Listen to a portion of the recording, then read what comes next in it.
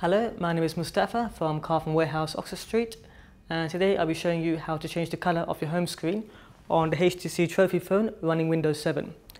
From your home screen, just move it over to the next page where you can scroll down into your settings menu and from your settings just pop in and you go down to theme and from here you can choose your accent colour by just pressing on it and you have a whole array of colours you can choose from. So let's pick red for now. Once you've done that, just press the Windows button to go back to your screen and as you can see all the icons have now changed red. Thanks for watching.